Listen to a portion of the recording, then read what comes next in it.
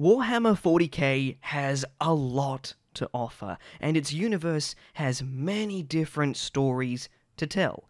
A lot of you will have realized by now that I have a lot of love for the Imperial Guard. They were my first army on the tabletop, and I really like them. But they are just one of the many factions that I enjoy. Um, yeah, Warhammer 40k is an expensive hobby, but I have dived right into multiple factions. um, because I enjoy so many different factions these days that it's made my videos more sporadic because I spend a lot of time painting and playing on the tabletop, which is part of the hobby. But surprisingly, one of my favorite factions have barely had any mention on my channel, and so today I'm here to correct that mistake. This will be one of hopefully many videos tackling the Necrons as I try to give you fun, digestible, and informative content about some of our favorite skeleton boys. And today you will learn the meaning of Necron supremacy. but now that you know the details, let's get stuck into it. I have been a fan of Warhammer 40k since I was a kid. I've talked at length in the past about how much love I have for the original Dawn of War video game. Playing that as a kid and having little seven year old Kiv saying, Yes, kill the heretics, is one of my favorite memories. so, Understandably, the first time I saw the Dark Crusade opening cutscene and the Necrons in it, they scared the living crap out of me. But something about them at the time, it, it just didn't appeal to me. Like, they seemed so one dimensional. Many years later, when I seriously got into 40k, I learned more about the faction and found out that they had changed a hell of a lot. They have personality, depth. We get warm, humorous moments from these cold robots, and at times, they almost seem more human than the Imperium itself. Another significant change is their state of decay. In recent years, this has been fleshed out a lot more with so many Necrons that are now broken or going insane. Uh, this is actually what I wanted to start with when addressing the Necrons because they have changed, and GW has, for lack of a better description, rebranded them in a very interesting way. So I figured it would be best to go through a mixture of old and new lore, comparing the two of them to each other, and so that way you can understand how they have changed and what kind of Necrons we are seeing in current day Warhammer, because they have come a hell of a long way, and it's very impressive how they've been able to shift this change into the lore. In my opinion, the current Necrons are much more appealing and interesting. You have moments when a Necron has a stutter, so you think, oh no, he's broken.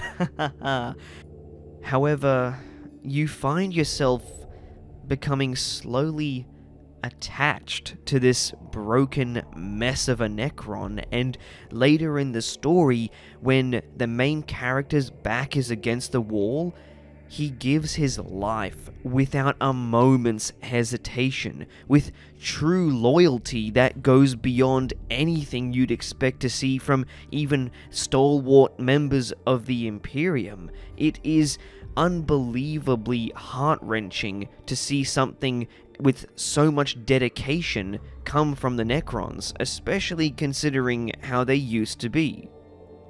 At the same time, their leaders are stubborn and care so much about appearances and tradition that they are flawed relics that possess frightening power. They are grumpy old men that are so petty and laughably annoying that seeing Trazyn and Orikan squabble with world-ending powers at their fingertips, it just it brings a smile to my face. You know, the duality is one of a kind, and I think that GW nailed it by making this change in direction. So, because of the switch in storytelling for the Necrons, I fell in love with the faction, and they are the army that I use the most on the tabletop.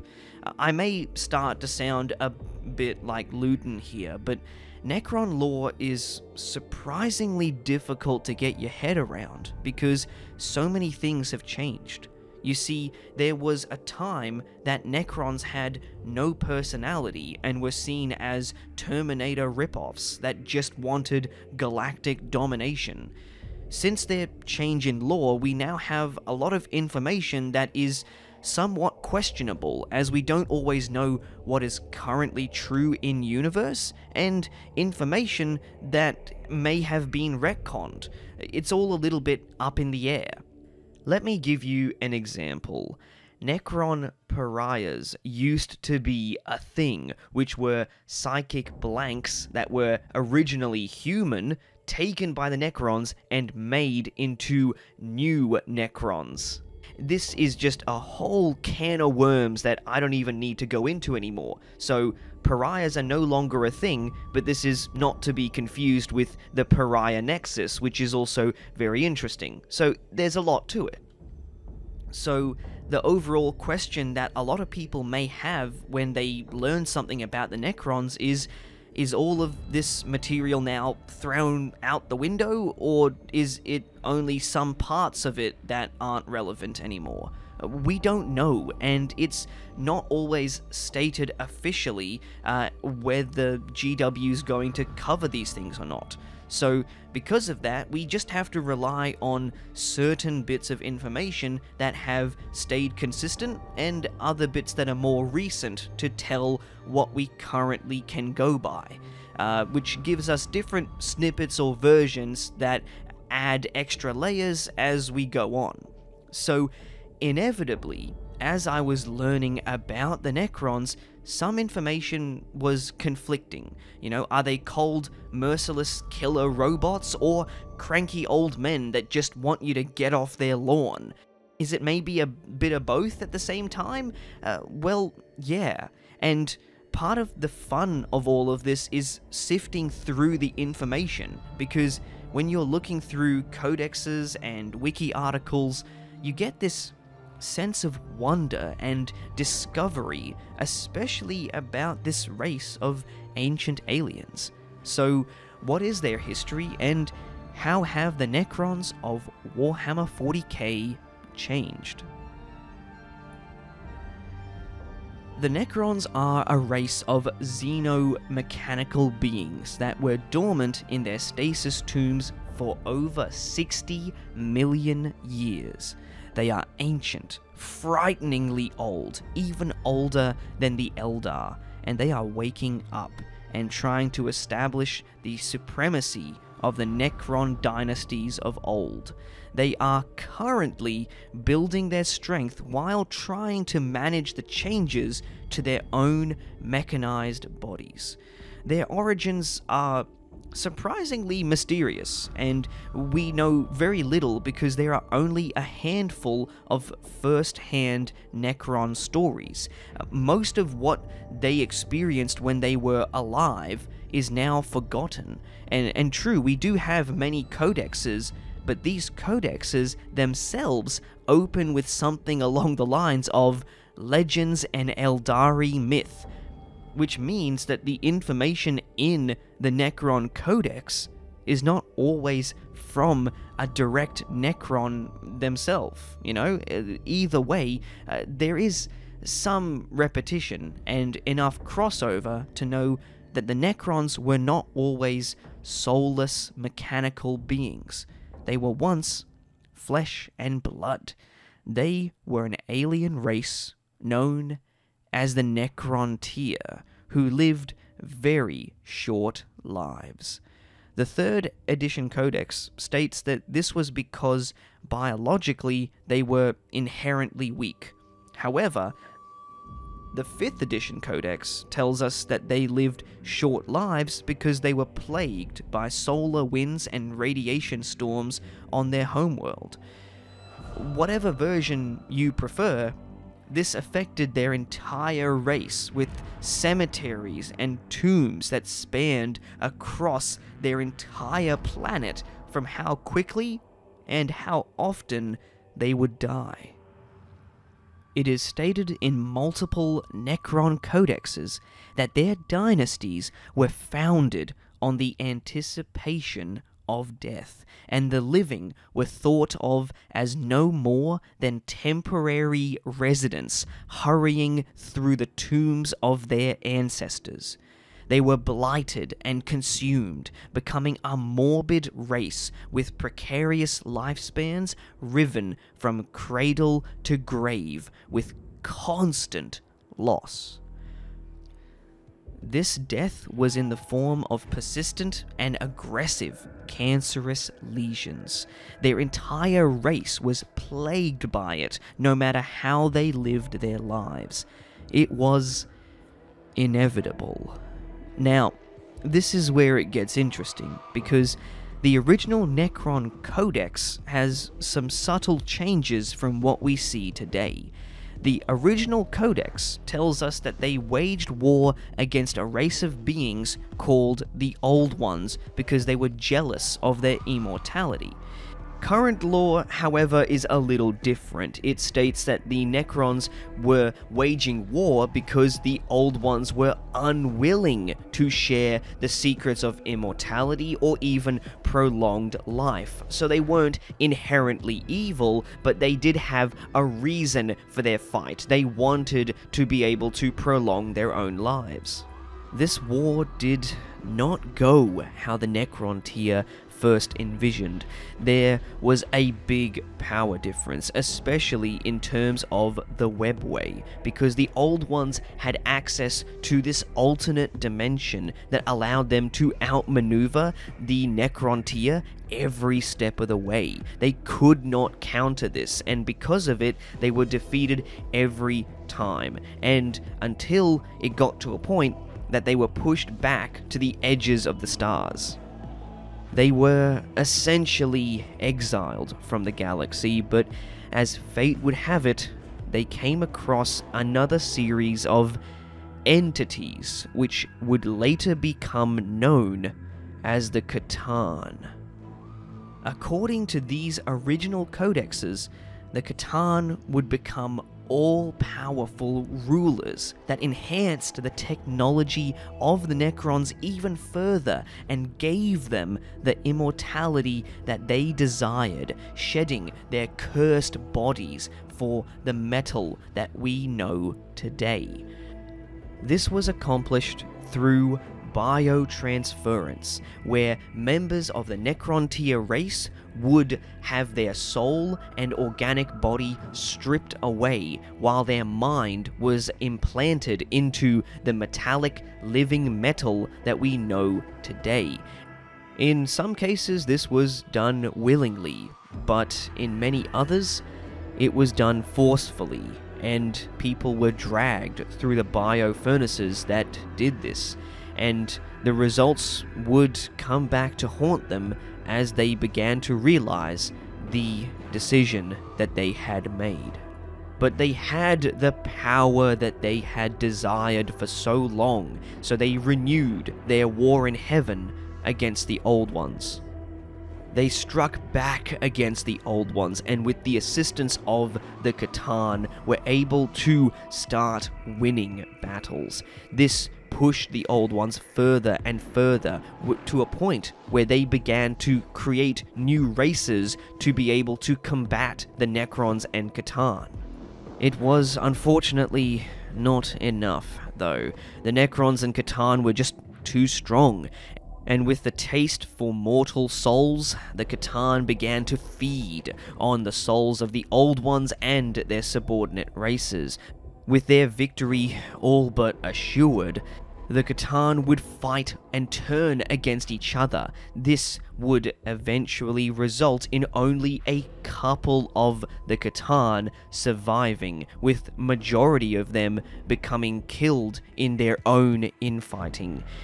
After many years, when the young races of the universe reassembled as an alliance and fought back with the powers of the warp, which the Necrons and the C'tan are unable to use, they were not strong enough to combat a unified alliance of enemies. So, with other races on the rise, particularly the Eldar, which would go on to dominate the galaxy, the Necrons understood that their immortality could play to their advantage. So they went into stasis. They began to lock themselves away in their own tomb worlds because they knew that time would always be on their side. What you just heard was mostly old lore, and one of the key differences is that the Necrons never rose back up against the C'tan and remained their servants, and this is very different to what we have now because these two major events biotransference, where the Necrontyr became the metallic Necrons we know now, and when they turned against the C'tan that were essentially trying to make themselves their gods, both of these decisions were from the last Necron king, known as the Silent King, who has only actually been introduced in recent years, and this has just totally shifted up the entire weight of the Necron dynasties and everything we know about the Necrons, because all of this previously was seen as a decision made by the Necrons as a people and as a separate convergence of dynasties that come together to form their race. From what we know now, these major decisions were actually based on what Szarekh, the last of the Silent Kings, wanted for his people. And on a personal note, whenever I read anything about the Silent King, I always find myself getting one answer and five more questions. So a lot of it is shrouded in mystery, but I do happen to appreciate where the old lore has come from and how the new lore aims to shift that up in a much more interesting way.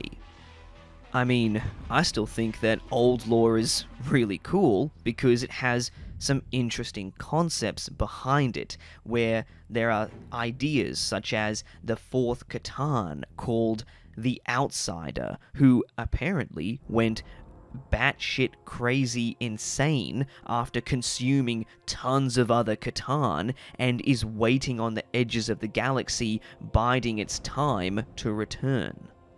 So I think that's really interesting and something that I would love to see on the tabletop, especially to have another C'tan model. If they do that anything like what they did for the Void Dragon, that the glow up on that is just unreal, you know? Like having something like that as a miniature would be fantastic, and it may even give you an in-lore excuse to be able to bring back another Primarch and have them team up with, you know, the Lion or Guilliman or something like that. It, it could seriously happen, and you may think that it's a bit of a stretch, but uh, the, the Outsider was mentioned briefly again in the 8th edition Codex, so in my opinion, the door is still open uh, for the most part, but it's probably a, a, separate conversation in general when we're talking about C'tan, because there's a lot of info out there about them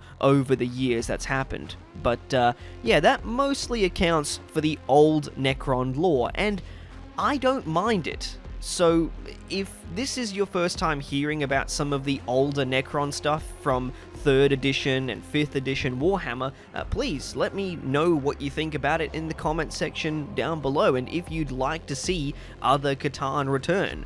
Um, or if you're more focused on wanting to see the current ones updated. Let me know. Essentially, uh, though, I don't really like the fact that the Necrons feel a bit more like a scary afterthought. They don't feel as unique as they do now. I definitely prefer the new Necron lore because they have a lot more depth and personality now. Uh, what we see now in newer Necron lore is a much bigger focus on the Necrons themselves as they have become more fleshed out. Uh, pun intended. um, in new lore, after swapping into their metal bodies from biotransference, the Necrons did not worship the C'tan as gods, but were kept under the command protocols of Szarekh, the Silent King and ruler of all the Necrons. This also opens up a new avenue of storytelling because Szarekh gives up his command protocols and gives freedom back to his people. However, this has also caused some backlash because his own people, some of the other Necron lords, like Imotekh, the Storm Lord, have actually risen up in revolt against Szarekh and is trying to essentially dethrone him because of the decisions he made. I just love that there are so many different opinions within the Necrons themselves. Some worship Szarekh as a god, whereas others, like Imotekh, say, Step over, son, it's time for a real ruler. And then there are other Necrons that say, We don't give a shit, leave us alone.